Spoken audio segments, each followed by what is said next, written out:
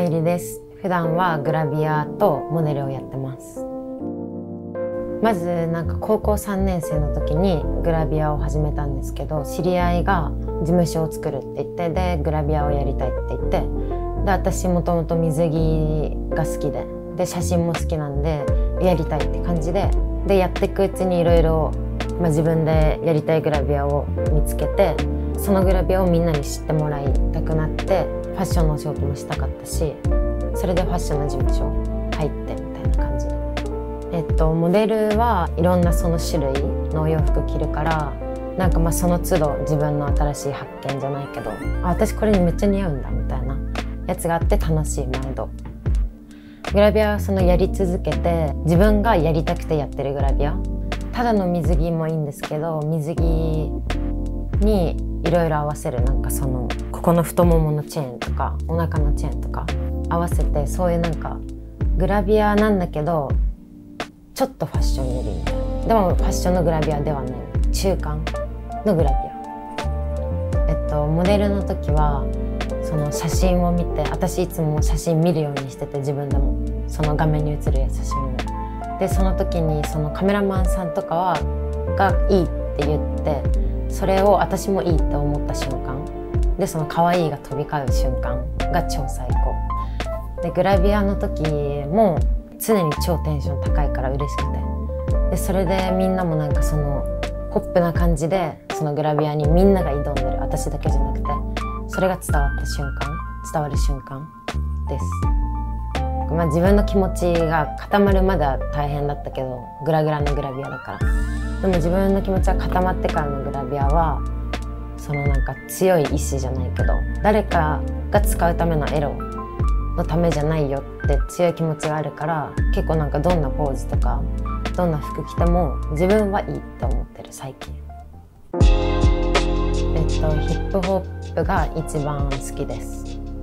でも音楽全般好きで j p o p も聴くし最近レゲエも聴くし結構全部好きです。ヒップホップを聴き始めたのは、えっと、5個上のお姉ちゃんがいるんですけどお姉ちゃんが準備してる時メイクとかの準備してる時にその RGTO っていう曲を聴き始めてでそれが頭から離れなくて YouTube で聴いてそこからハマってでその関連の動画も全部見てそこから関連の関連の関連の関連みたいな感じでつながって、えっと、ヒップホップではコーとドドが一番好き。でも全員好きです。でも特に好きなのはその2人。えっとコーの曲をちゃんと聴き始めたのは高校3年生の時に、まあ、結構落ち込む時があって。でその時に YouTube にしかないんですけど「夢と希望」って曲があって。その歌詞がめっちゃ好きで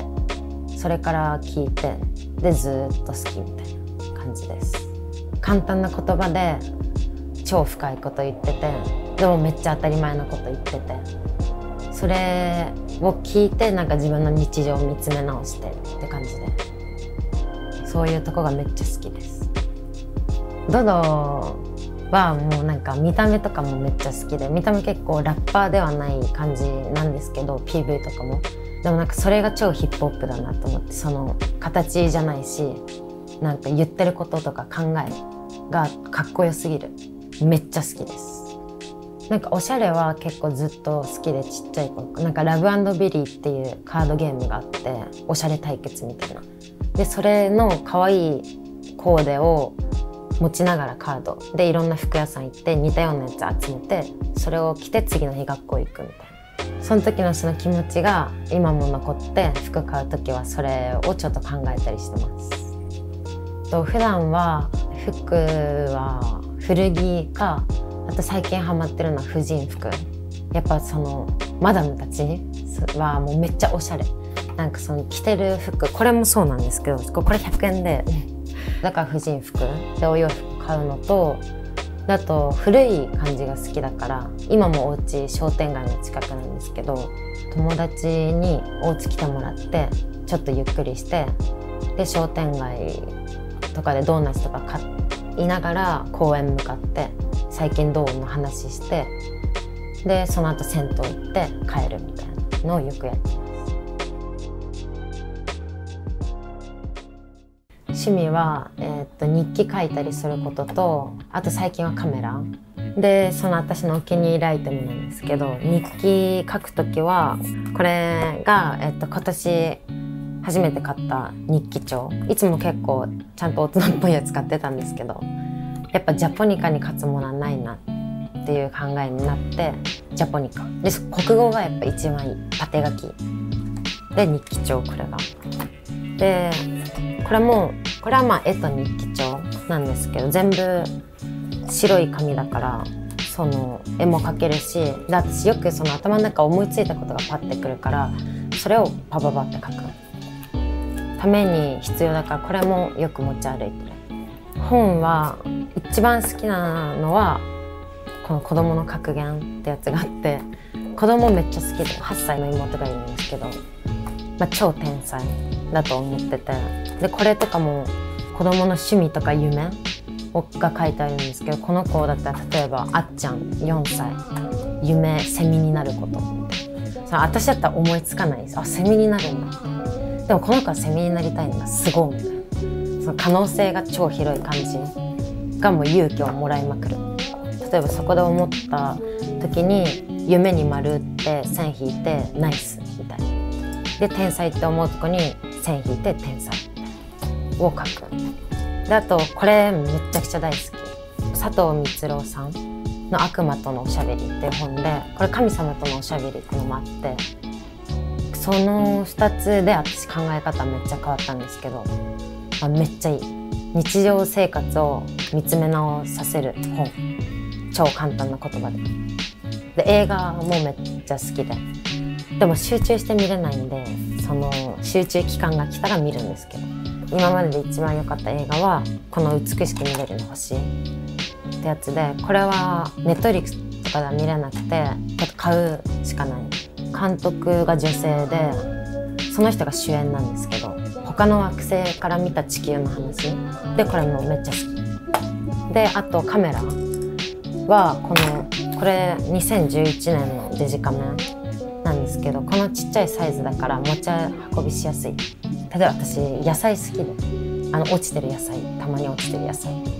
とかあのネギ。あのスーパーから出た主婦とかの袋からはみ出てるネギ。とかをもう一瞬で捉える。これで。というのをめっちゃやってます。悩みまあ常にその考えることあってまあその今のままでいいかみたいな。でそのお仕事終わって写真とか振り返ってみてでここがちょっとあれだったかもとかをその日まあノートとかに書いてで次の日とか起きてみて。でそれじゃあ何が足りないんだってずっと考えてで足りなかったことをやっていくみたいな。えっと、今後はまず、まあ、グラビアをみんなに知ってもらう。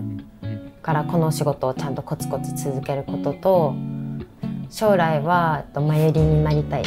その自分に嘘つかない本当のピュアな本当の自然の自分。その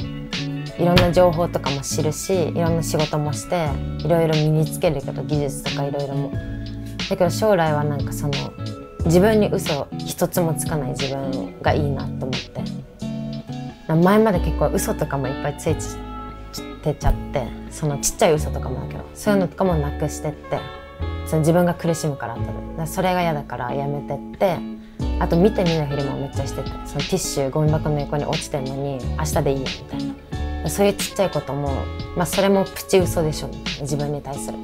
だからそういうのもなくすためにもう見て見ぬふりもしない。あと食器洗いも明日に回さないで今するみたいな。そういうのの積み重ねで将来自分になれるかなみたいな。って思って